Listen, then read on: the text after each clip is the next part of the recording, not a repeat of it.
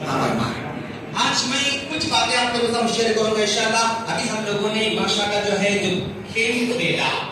और इस गेम के अंदर क्या लेसन था? इस गेम के अंदर क्या सीखना चाह रहे थे?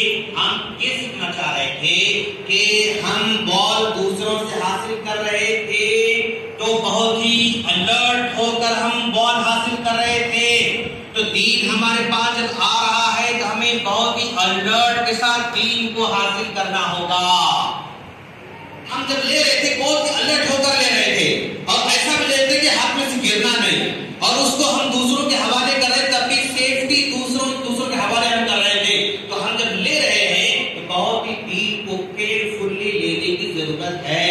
और लेकर अपने पास रखकर नहीं बैठना है, बल्कि दूसरों के हवाले भी करना है, दूसरों को भी सिखाना है। जैसा कि अल्लाह के रसूल सल्लल्लाहु अलैहि वसल्लम का फरमान है कि अगर चाहिए कि वो दूसरों तक आयत को पहुँचाए तो गोया, हम दीन को दूसरों के हवाले भी करना चाहते हैं और दूसरों तक पहुंचाना भी चाहते हैं। ये इसका असल हमारा मकसद था कि हमें हमें लेना भी है और हमें देना भी है। मन कुरान। एक अच्छा मन कुरान। कुरान को पहले सीखने वाला है सीखकर खामोश नहीं बैठना है वअल्लमहु और दूसरों को सिखाने वाला भी होना चाहिए और सिखाने के लिए उस्ताद बनकर बैठना ही कोई ज़रूरी है, बल्कि सीखने वाले जो हैं, सिखाने वाले जो हैं, उनको हम वसाइल प्रोवाइड कर रहे हैं, आसानियाँ फराहम कर रहे हैं सोर्स हम प्रोवाइड कर रहे हैं तो हमारा शुमार भी सिखाने वालों में ही होगा इंशाअल्लाह। उस आसानी को पहुँचाने में हम जो भी कोशिश करेंगे इंशाअल्लाह, और हमारा शुमार भी उन लोगों को होगा अच्छे बच्चों आप ये बताओ, ये एक बॉल है समझो। क्या है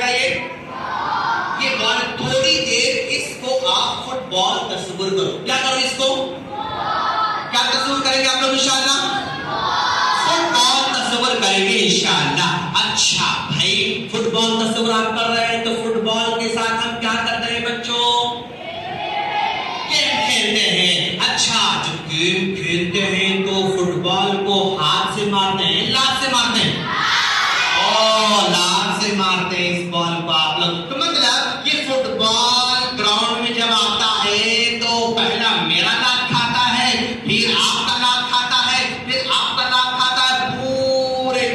इसका काम क्या है?